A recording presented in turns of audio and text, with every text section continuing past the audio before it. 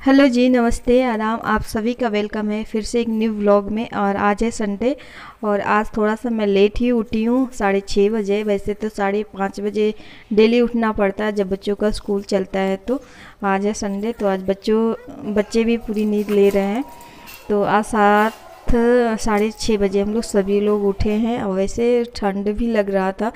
मतलब सुबह के टाइम काफ़ी ठंड लग रहा था तो यहाँ पे खुशी खुशी जो थी ना पता नहीं कैसे वो सुसु कर दी थी। और ये मैंने यहाँ पे पॉलीथीन डाला हुआ था। उसका कथोला जो होता है मैंने डाला हुआ था। पता नहीं वो सोते समय ना इधर उधर करवटे लेते समय वो सिमट जाता है। तो गद्दे पे पूरा भीग गया था। गद्दा भी भीग गया है तो अभी मैं गद्दे को भी डाल दूँगी छत पे सूखने के लिए और यहाँ पे बेडशीट वगैरह लेकर आई हूँ। और अभी दो दिन पहले ही मैंने इसको जो है बिछाया था, हमने सोचा आज जो है नहीं करूँगी नई बेडशीट मैं चेंज नहीं करूँगी, क्योंकि बच्चों का ड्रेस काफ़ी मतलब निकल जाता तीनों बच्चों का ड्रेस है यहाँ पे। तो ड्रेस ही जाता है टाइम लगता है बाथरूम वगैरह साफ़ करने में थोड़ा टाइम लगता है तो हमने कहा, चलो आज बेडशीट नहीं चेंज करेंगे। पर क्या हुआ, खुशी जो है यहाँ पे सुसु कर दी थी और यहाँ रूम में ना थोड़ा सा ठंडा लगता है। तो यहाँ पे ड्रेस इन लोगों का भिगो देती हूँ। उसके बाद झाड़ू पोछा करूँगी ना, तब तक ये अच्छे से फूल जाएँगे और धुलने में थोड़ा सा आसानी हो जाता है। जब कपड़े भिगो के रख देते हैं 10-15 मिनट के लिए तो तो बस यहाँ पे झाड़ू पोछा करेंगे, तब तक वो अच्छे से फूल जाएँगे। और जब आऊँगी नहाने के लिए तो फटाफट धुल के डाल दूँगी। तो यहाँ पे देख सकते हो, यहाँ पे झाड़ू पोछा कर लिया है, पूरे घर में झाड़ू लगा लिया है, पोछा भी लग गया है। बस ये सिंक थोड़ा गंदा था और ये दो तीन दिन में इतना मतलब इस, यहाँ पे ज़्यादा ही गंदा हो जाता है, क्योंकि सभी लोग यहाँ पे मतलब हाथ वगैरह धुलते हैं और अपना फेस वगैरह धुलते हैं ना तो छीटें जो आती हैं ना, पूरे दीवार वगैरह पर पड़ जाती हैं तो पूरा भद्दा लगता है, पूरा गंदा लगता है। तो दो तीन दिन में बस यहाँ पे हाथ लगाना ही पड़ता है। तो अभी जो है पूरा यहाँ पे सफ़ाई करने जा रही हूँ और अभी जो है यहाँ पूरा सामान हटा दूँगी। वैसे सारा सामान जब भी चाहे बाथरूम हो, चाहे कोई चीज़ की सफ़ाई करते हैं ना तो पूरा सामान हटा के सफ़ाई करते हैं ना तो और अच्छे से सफ़ाई हो जाती है। और हटा हटा के करते हैं ना तो अच्छे से नहीं हो पाती है। तो ऐसे मैं करती हूँ, बाथरूम भी सफ़ाई करती हूँ ना तो सब कुछ पहले नीचे रख लेती हूँ या बाहर रख लेती हूँ, उसके बाद सफ़ाई करती हूँ। तो बस यहाँ पे जितना भी ब्रश वगैरह था, पहले इन सबको निकाल कर अलग रख लूँगी, उसके बाद फटाफट जो इसकी सफ़ाई कर दूँगी। तो यहाँ पे तीनों बाथरूम के जो सिंक हैं, वो भी गंदे हो रखे हैं, काफ़ी मतलब गंदे हो रखे हैं। और हमारे घर जब पूजा हुआ था ना तो गेस्ट लोग भी आए थे तो हर जगह यूज़ हुआ है तो इसलिए बहुत ज़्यादा गंदा हो गया। तब से मैंने साफ़ भी नहीं किया था।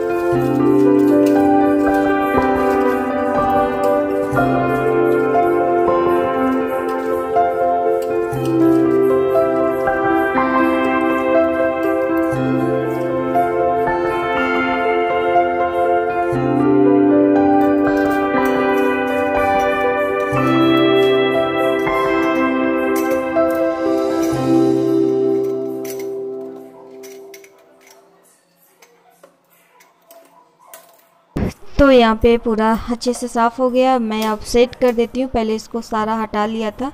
आ, पूरा फिर उसी जगह पे मैं सबको सेट कर देती हूँ रख देती हूँ।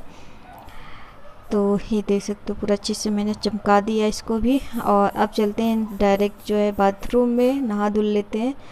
और अभी नहा वहा के मैं आ गई हूँ छत पे। तो छत पे काफ़ी तेज़ धूप है। और धूप से बहुत डर लग रहा है इतनी तेज़ धूप है।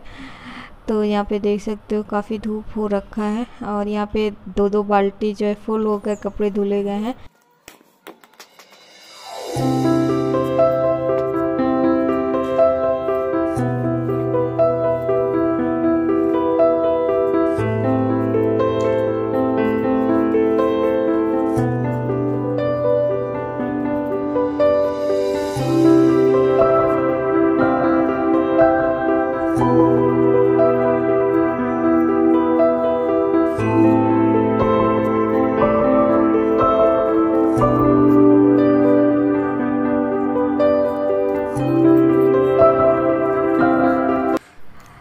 अभी मैं जा रही हूँ लंच बनाने और लंच में आज बनने जा रहे हैं हमारे घर पनीर। आप लोग देख सकते हैं यहाँ पे पनीर कट करके भी रख दिया गया है। तो यहाँ पे पतिदेव लाए हैं और यहाँ पे कट करके रख दिए हैं। जब भी वो पनीर लाते हैं ना तो कट करके ही रख देते हैं। तो यहाँ पे बस जा रही हूँ पनीर बनाने लंच में और रोटी, पुलाव ही बनने वाला है। और आज हमारे घर पहली बार हमारे मौसा जी आ रहे हैं। तो इसलिए मैं दोपहर में ही पनीर बना रही हूँ, वैसे शाम को ही बनाती हूँ। तो जब वो मतलब कोई भी गेस्ट वगैरह आता है ना तो मेरे घर ज़्यादातर पनीर ही बनता है। पनीर, क्योंकि लोग ज़्यादा पसंद करते हैं, बच्चे भी पनीर ही खाते हैं। और भी कोई सब्ज़ी अगर मैं बनाऊँगी तो वो खाएँगे नहीं तो कोई फ़ायदा नहीं है। तो इसीलिए पनीर ही ज़्यादा बनता है और यहाँ पे बस वो जा रही हूँ बनाने के लिए। तो अभी सुबह के टाइम जब बस मैंने चाय बनाया था और ब्रेड वही सब खाए पिए थे और सबको लग गई है भूख। तो मुझे भी काम करते करते ग्यारह, साढ़े ग्यारह बज गया था। मतलब सुबह से लगे रहो, जिस दिन मतलब संडे हो मतलब टाइम तो मेरा यही होता है काम। इतने ही बजे ख़त्म होता है, चाहे बच्चों का स्कूल हो या छुट्टी हो, ग्यारह, साढ़े ग्यारह बज जाता है मुझे घर का काम करते करते। झाड़ू पोछा करते, कपड़े धुलते पोछा झाड़ू करते और पूजा पूजा पाठ सब करते मतलब टाइम मेरा इतना ही बज, हो जाता है। तो अभी जो है बस लंच बनाने जा रही हूँ यहाँ पे देख सकते हो, यहाँ पे जा रही हूँ पनीर की ग्रेवी बनाने वैसे मैं आप लोगों के साथ कई बार शेयर करी हूँ और मैं हमेशा जो है अपने ब्लॉग में जो भी बनाती हूँ, ज़रूर शेयर करती हूँ। मुझे अच्छा लगता है। कि हाँ मतलब अपना जो है, जो भी कुछ बनाऊँ आप लोगों के साथ शेयर ज़रूर करती हूँ। तो बस यहाँ पे जो है, पनीर का ग्रेवी जो है, इसी तरह से मैं बनाती हूँ। तो इस तरह से क्या होता है ना कि जब हम मसाले तेल में जब बन मतलब भूजते हैं ना तो इस तरह से तेल ज़्यादा नहीं लगता है, जब मसाले रेडी करते हैं। और वैसे कच्चा जब हम पीस के और बनाते हैं मतलब पनीर का जो ग्रेवी तैयार करते हैं ना तो उसमें तेल अधिक लगता है। इसलिए हमेशा जब भी मैं पनीर बनाती हूँ तो इसको या तो बॉईल कर लेती हूँ और पीसती हूँ या इस तरह से जो है भूज लेती हूँ तो पीस लेती हूँ। तो इससे क्या होता है, ग्रेवी भी अच्छी बन जाती है और टेस्ट भी अच्छा आता है इसका। तो बस यहाँ पे पनीर को हल्का हल्का जो है मैं भूज लेती हूँ, क्योंकि यहाँ पे कच्चा जो पनीर मैं डालती हूँ तो सबको मेरे यहाँ कोई पसंद नहीं करता है, सबका अलग अलग खाने का मतलब टेस्ट होता है। तो इधर मैं चढ़ा देती हूँ चावल और इधर बना लेती हूँ सब्ज़ी, क्योंकि अभी जो है सबको लग गई है भूख और मौसा जी भी अभी आ ही रहे हैं। अभी फ़ोन किया गया था तो अभी बस वो भी पहुँचने वाले ही हैं। तो बस फटाफट जो यहाँ पे लंच बना लेती हूँ मैं।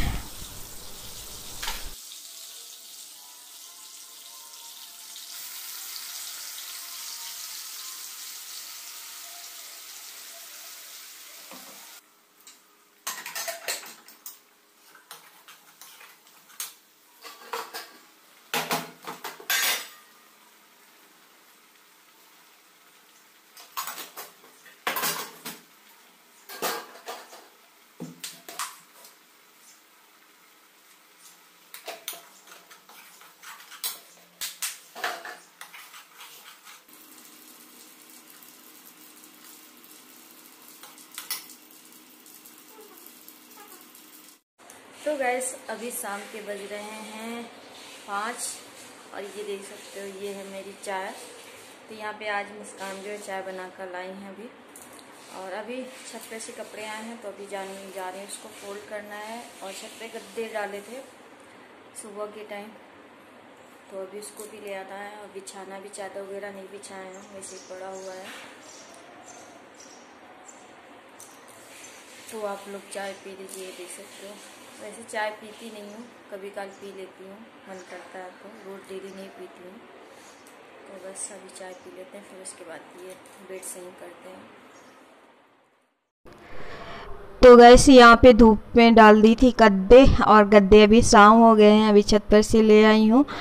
तो जैसे मतलब गद्दे वगैरह धूप में डालते हैं ना तो इसका सेप जो है मतलब बिगड़ जाता है, ऊँचा नीचा हो जाता है और ये जो इसमें रुई भरी होती है ना, कॉटन, वो फूल जाता है तो बहुत मतलब फूला फूला सो हो जाता है। तो इसलिए थोड़ा सा इसका शेप ऐसे बिगड़ जाता है कॉटन का। और मेरे यहाँ ये जो रुई वाले गद्दे ही मतलब पतिदेव को पसंद है फॉर्म वाले गद्दे बिल्कुल पसंद नहीं करते, उनकी कमर में दर्द होने लगता है। इसीलिए हमेशा हम लोग पतले सा मतलब गद्दा यूज़ करते हैं। ज़्यादा मतलब हैवी वाला गद्दा यूज़ नहीं करते हैं। तो अभी मैं बस ले आई हूँ छत पर से। अब वही शीट मैं से बिछा दी हूँ, क्योंकि दोबारा जो है, मैंने कहा दूसरा निकालेंगे। तो धुलना पड़ेगा, वही धुल दिया था, अब सूख गया, तभी मैं जो है लगा देती हूँ, अपना बेड सही कर देती हूँ। तो बस यहाँ पे जब जब भी धूप में डालते हैं तो गद्दों का जो सेब होता है ना मतलब बिगड़ ही जाता है। तो एक ही मैंने डाला था, दोनों उठा के नहीं ले गए थे, वो गद्दे हैं भारी।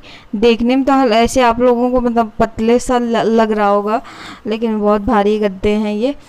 तो बस यहाँ पे बेड मैंने सही कर दिया है और अभी देख सकते हो यहाँ पे ढेर सारे कपड़े जो छत पे मैं सुबह के टाइम डाली थी, वो भी सब लेकर आई हूँ। अब जा रही हूँ उनको तह लगा कर रख दूँगी।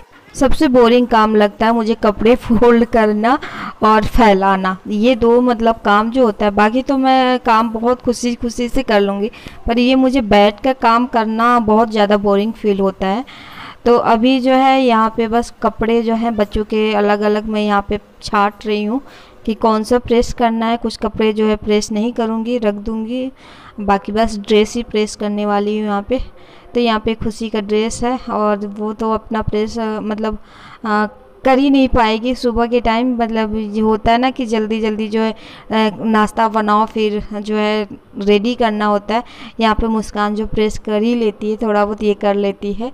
तो जब मैं प्रेस कर रही थी, बोली, मम्मी, मेरा भी कर दो, खुशी का कर रही हूँ तो मेरा भी कर दो।